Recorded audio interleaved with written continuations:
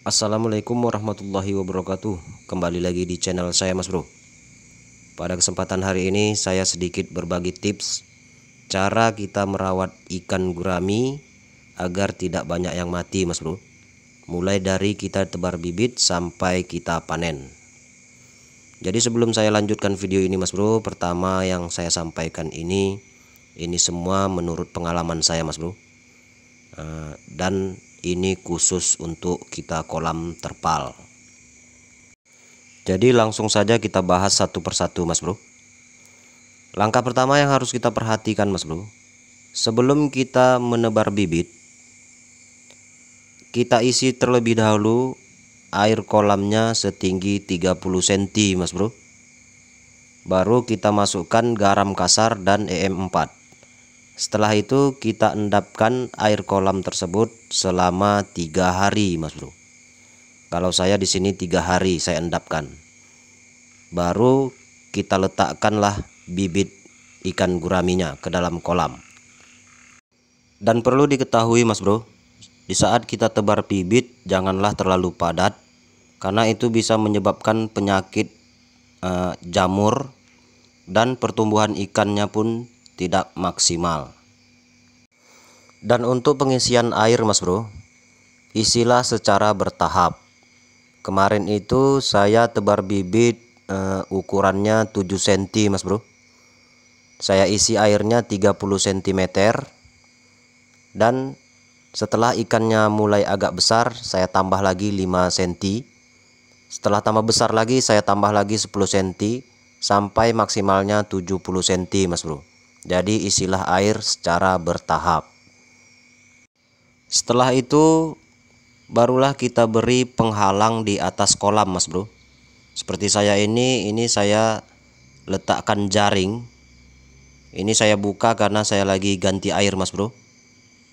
Kalau tidak ini saya tutup ini rapat agar sinar matahari tidak langsung ke dalam kolam Mas Bro karena kolam terpal ini sifatnya panas mas bro. Jadi sudah panas di air kolam terpalnya ditambah lagi sinar matahari langsung jadi panas juga. Itu pun tidak bagus untuk kondisi ikan di dalam kolam. Paling tidak kita beri penghalang lah atasnya supaya tidak matahari langsung. Yang lebih bagusnya lagi kita taruh pelepah-pelepah kelapa mas bro. Karena ikan gurami ini dia pemalu ini mas bro jadi kalau ada pelepah kelapa, ranting-rantingnya itu masuk ke air, di situ suka dia bermain-main. Karena ikan gurami ini suka tempat-tempat yang eh, agak-agak tertutup, Mas Bro. Ranting-ranting itu paling suka dia ikan gurami ini. Selanjutnya, Mas Bro, kita masuk ke tahap pemberian pakan. Jadi untuk pemberian pakan ini sesuaikan peletnya dengan ukuran ikannya. Kalau ikannya kecil kita kasih pelet yang kecil juga. Kalau saya dulu menggunakan uh, pelet 781 min 1 awalnya Mas Bro. Begitu ikannya sudah besar saya naik ke min 2. Begitu besar kita naik lagi tingkat peletnya. Dan untuk pemberian peletnya haruslah dibibis Mas Bro. Jadi pelet dibibis terlebih dahulu lebih bagusnya juga dibibis menggunakan vitamin juga mas bro. Jadi fungsi pembibisan itu agar pelet menjadi lunak mudah dimakan eh, sama ikan tidak merusak pencernaan ikan mas bro. Dan untuk pemberian pakan selain pelet misalnya eh, daun-daunan mas bro usahakan itu diberikan setelah umur tiga bulan setelah kita tebar bibit mas bro. Karena kalau masih kecil kita taruh uh, daun-daunan itu daun-daunannya belum dimakan sama ikan gurami ini mas bro. Yang ada menyebabkan air kolam menjadi bau dan kotor karena daun-daunan itu menjadi busuk di dalam kolam. Dan apabila ikan guraminya sudah tiga bulan setelah kita tebar bibit mas bro barulah kita beri daun-daunan. Itu untuk makanan tambahannya mas bro. Jadi pagi setelah kita kasih pelet barulah kita kasih daun-daunannya. Dan daunnya ini habis tidak habis sore harinya haruslah dibuang. Agar tidak membusuk di dalam kolam yang menyebabkan air kolam menjadi kotor. Kalau saya di sini saya beri daun talas Mas Bro atau daun keladi. Dan untuk pemberian pakan peletnya Mas Bro, usahakan jangan terlalu pagi dan jangan terlalu sore Mas Bro.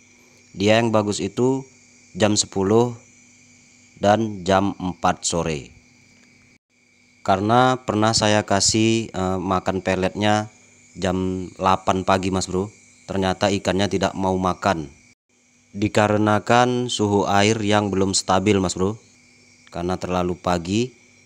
Dan sore harinya pernah juga saya kasih jam 5 sore lewat mas bro.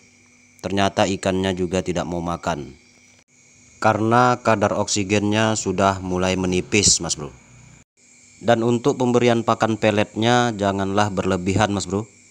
Karena dari sisa-sisa pakan yang berlebihan tidak dimakan ikan bisa menyebabkan amoniak racun di dalam kolam mas bro. Jadi ikan bisa terkena penyakit dan bisa pula ikannya mati.